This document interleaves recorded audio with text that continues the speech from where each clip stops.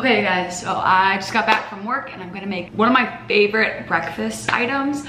Um, I, whenever I go to New York, my favorite thing to get there, I mean, all their food's amazing, but I love their like salmon, lox, and bagel on everything bagel.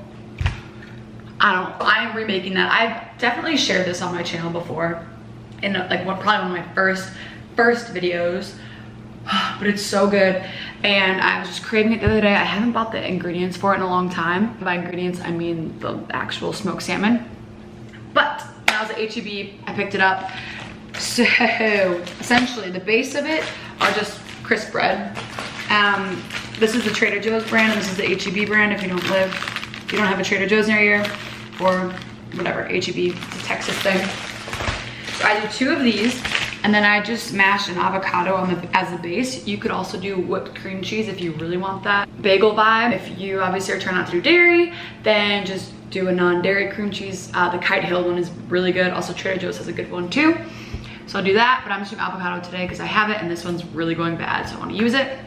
And then thin, thin sliced cucumbers. The thinner, the better. I feel like it's, it's the perfect amount of crunch without being too much. I love onion, so I put raw onion on it. So good. Capers add this perfect brininess to it and it's delicious. And then of course on top, gotta put some bagel seasoning. Just, let me know down below if you guys love these kind of uh, lox and bagels too. I've gotten smoked salmon from Trader Joe's and they have the everything bagel one, which is really good too. I really like the pastrami, I think it's called like pastrami smoked one. Um, I've shared it in old videos, but we just didn't go to Trader Joe's this week. We went to HEB instead. But I also want to try from Trader Joe's the, what is it, like the ahi tuna, the smoked tuna that they have.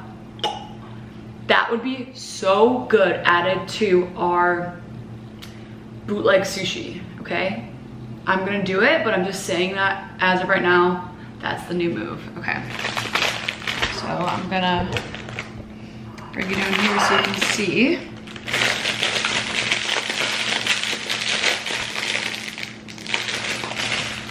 These. We're gonna do the HEB ones because it says it's everything. And these are my, everything ones are my favorite out of the HEB ones that I've tried. HEB crisp breads.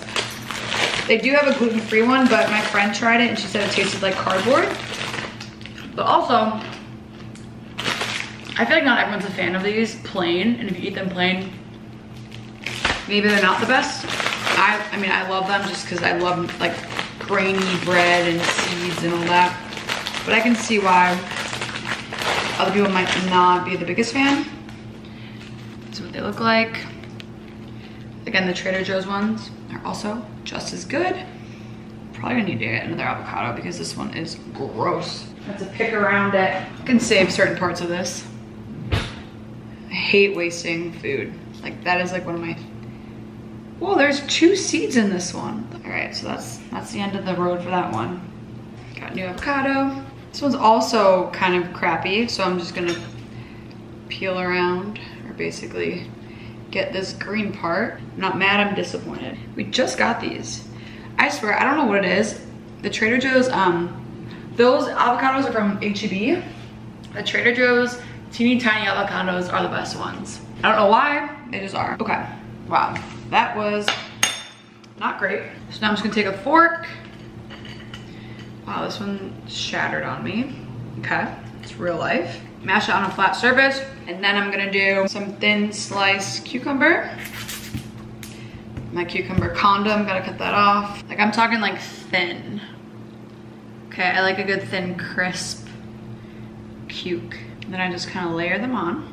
I'll show you when I'm done cutting this. Okay, so that's where we're at. Chop some onion thin, placing it on in strips you can cut them thinner and fancier. I love raw onion though, we know this. So the more the merrier. Next we're gonna take the capers. I like to put the salmon on the top because it kind of keeps everything blocked underneath. You're gonna take some of these capers and kind of just put them in the crevices of like the onion and everything. I love capers. They give such a good brininess. Mm. They are really necessary if you want that true lox and bagel. So they're on there and now you're gonna take your salmon, just kind of fold it over it. And then I'm gonna add everything but the bagel seasoning on top. A little tip, if you guys have tried this before, you know that when you get to the bottom of one of the jars, it's really, really salty. So what I like to do is I get a new one and I start it. Like I take some of the seasoning out, okay? And then take the top off of one. Hello. And I'll pour the rest of this one into the ne next one and then mix it up. Holy shit. So that it's not all the salt. So the salt can be like distributed evenly. Does, is that so embarrassing that I like have a, a way to do that? But whatever, it's fine. And just kind of shake it up and then the salt will get redistributed throughout the whole thing instead of just being really, really salty at the end. And then you don't have to throw it away and waste it. Okay? All right, anyway. It's a little messy, but here is the focus. Here's the final product. It is so, so good, you guys. If you want that lox and bagel, everything bagel, this is the closest I'm gonna get in Texas at least, so try it out. Let me know what you think. I'm gonna enjoy this because my mouth is watering. Okay, if you guys know, Lou Malnati's pizza is honestly the best pizza in the entire world. It's Chicago deep dish. My mom sent it for me to me for my birthday. If you didn't know, you can send frozen pizzas. Oh, this is my favorite one, the Lou. It's just a bunch of vegetables, spinach, sliced tomato, mushrooms, and cheese. And then we also got a sausage as well. And these are great because they just stay in your freezer and then you just heat them up. Here are the directions to preheat. And they taste delicious. I love Lou Malnati's pizza. I grew up eating it and it is the best in my opinion. Let me know if you've had it before or if you prefer a different kind. Like I know Eduardo's, Giordano's, um, Pequod's is also really, really good. There's a bunch of them, but this is the OG. So, got package from Ulta, and then also Mejuri, Mejuri, but uh, let me just show you what I got in here. This is the card that Matt got me. I'll show you the watch Matt got me as well. Um, I just got some more of my favorite self-tan, the Tanologist self-tan mousse in dark. And then I also tried out, this one's a new one, I've never tried this one, the self-tan mousse extra dark express one hour tan. I like this, I like this one because it's clear, so it doesn't rub off on my white clothing if I don't wash the entire color guard off. I don't know, it's a random fact. Um, oh, these are really fun. So you guys know how I love to do my own nails, right? Right. I saw these on Ulta's website. They're nail wraps. So I was thinking I could put, obviously put them on your natural nails, but I could also put them on my acrylics that I do as well. Like look how cute, these three patterns. So there's this one. These like abstract ones are really in right now. And then flowers. Even if I don't want to do them on all the nails, I could just do like, uh, like a couple accent ones, you know? I don't know. Just quarantine things. Thought it'd be fun to try out. Um, oh. My brother and his wife got me these flowers as well. And then Matt got me these white hydrangeas. And I got, speaking of acrylic nails, I got three more nail glues. If you're gonna watch my, I filmed a like bougie on a budget at home, nails, makeup, all that. If you know the glue issue, you watch that video, you will understand why I have three brand new ones. You can never have too many nail glues. I also, in that video, got another one of my favorite lip liners. This is a dupe for the Charlotte Tilbury one. And it's Maybelline, it's really cheap. And then they also gave me this for like an added gift. It has a bunch of samples in it. It's all skincare stuff, and we know how I feel about skincare, so I'm going to try that out. Like, And then I got this package from one of my best friends for my birthday. Let's open it. Fancy seeing you here, single. Oh, happy birthday, buddy. You're such a happy, shining light in so many lives, and I'm lucky to have you in mine. Thankful for you every day. I hope this year is the best year yet. Love you. XOXO Rach. Thanks, Rach. Oh my god. How cute is that? Oh my god. Get it now. Yes, she said I'm a shining light in so many lives. And then she got me this. Let's focus on. I'll try to link this down below if I can find it. Look how stunning that is. It's so shiny. It's got little stars on it. Thanks, Rach. Okay, I have to text her. I don't know if I've shared this tip before. I know I've shared making or putting protein powder like in a shaker cup in hot coffee. I also like to use just regular protein shakes as creamer in my iced coffee as well. It tastes so freaking good. You know, you get some protein, you get some caffeine, it's delish. Um, so this is what I had, some post-workout. I had this shake with some coffee. And right now I'm making some lunch. I have showed this before, but I'm gonna make all four of these cauliflower thins. I put some, whoop, I put them in the air fryer, so I'm preheating that right now. Gonna put some garlic dip on the bottom. Honestly, I'm being really lazy today. I don't mind raw onion, but if you wanna get really fancy, saute um, some onion with some like mushrooms or just any other like spinach or any veg vegetables you have. I'm gonna do two chicken sausages just sliced in the air fryer as well. So these go in the air fryer. I'm gonna chop this up, put it on here, Bada bing, bada boom. That is the quickest lunch. Not cute, but tastes delish. I have the two cauliflower thins in there. I just do two at a time because then when I'm eating these, I can put the other ones in to make. And then one chicken sausage.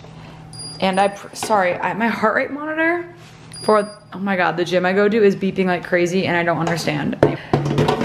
Putting that in. I preheated the my air fryer for, at 400 for like three minutes. You don't have to do that. I just did it because it Oh my God, that freaking beep. Okay, I need to figure out why that's beeping. All right, so I'm just gonna, let's do like 380 for like five minutes and then I'll come back and check on it to shake.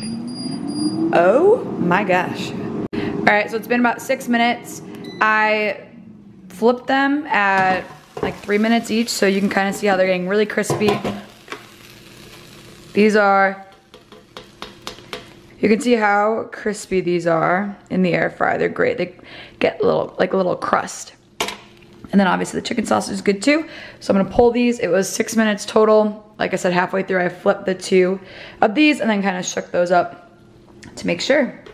And then I also decided to cut up an apple and then I have some of these leftover greens that I'm gonna put on one of them as well. So I'm gonna do one I'm thinking with just like cucumber, and some greens and some garlic dip. I don't know. Like I said, this is just me trying to use up what we have before it all goes bad.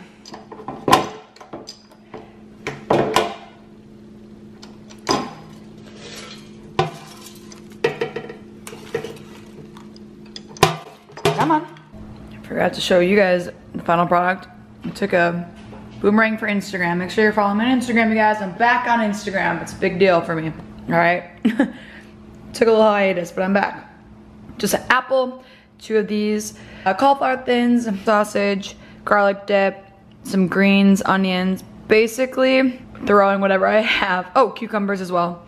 Throwing whatever I have on these cauliflower thins and making a little flatbread pizza. For the next batch of the two cauliflower thins, I'm gonna make little cheese pizzas with the other chicken sausage. So I just have some cheese. Ideally we'd use mozzarella, but like I said, we were running out of everything and just some tomato sauce, marinara pasta sauce. Bada bing, bada boom. All right, let's check on how this batch is doing. Yep. Mm. These are almost done. I'm actually gonna pull these out because I want to build them and then put them back in for another few seconds for the cheese to melt. Okay, so as you can see, I just did uh, a little, little bit of marinara pasta sauce on the bottom, a little sprinkle of cheese and then put the crispy chicken sausage on top. I'm gonna pop this in the air fryer just for one more minute longer. At 380, just to melt the cheese. All right, it's been a minute. Look at that melty deliciousness. And I guarantee if you have kiddos as well, these are perfect, like kid size pizzas. And that that's the final product. I'm gonna top mine with some of the mixed greens just because I love to get greens in when I can. But you don't have to. You could add some fresh basil on here as well. Like I said, onions, sauteed, vegetables, whatever you have. Look at that. Look at that. Yum. For dinner tonight, it's already 8 o'clock, so we just wanted something really, really quick. Um, we are gonna make some shrimp sesame sweet Asian salads. So we have these pre-made chopped salad kits from HEB, and then I'm also gonna cut them with just some spring mix to get some darker leafy greens in there, so I'll do half and half. And then I'm just gonna air fry some shrimp to put on top. And I'm preheating my air fryer right now, and then we are thawing, sorry for the dishes, soft thawing some of the shrimp in there. And this dinner is gonna take maybe 12 minutes from start to finish. So that is the kind of dinner we like. All right, so these are defrosted. I just ran under cold. I just ran them. But I just ran them under cold water for, I don't know, five, 10 minutes or so they became defrosted because they were frozen. And I'm just gonna do a quick seasoning some ground ginger, garlic powder, onion powder, this mushroom umami seasoning, and some black pepper since it is an Asian salad and there is a sesame Asian dressing on there. I just want to get these crispy in the air fryer and then we will, it'll be really good with the contrast of the crunchy with the sesame dressing on top. So I dried these off. So defrosted them, dried them so the seasonings will stick and then I'll put them in the air fryer and I'll show you that. All right, so here are the scrimps all coated nicely. So my air fryer preheated. I just do this sometimes when I want to get them really crispy and also like I have time to do it. It's only five minutes. I'm just gonna put them in. You'll hear how they kind of start to crisp up already. Make sure they each have their own little space in the hot tub. And then you're gonna flip them halfway. Okay. My air fryer has a shrimp setting. It's 370 for six minutes. Sometimes the six minutes is too long, so I will um, run it for, I don't know, four minutes, flip, and then I'll make sure to check before the time's out. I don't want them to get too tough, because no one likes rubbery scrimps. In the meantime, I'm gonna start putting these in bowls, just like I said, half and half, and then I will use some of the toppings as well. All right, here are the finished products. So like I said, it's half of the cabbage slaw with half mixed greens. And then we this it came with some wonton strips and some slivered almonds, which we put in, and then the shrimp, and then I just topped it with some of the everything with the bagel season. I put this on everything, basically. Um, but the bagel! you were gonna say that. and then I used about that much dressing between the both of us. And that is our finished salad. Dinner right there. Woo! So delicious.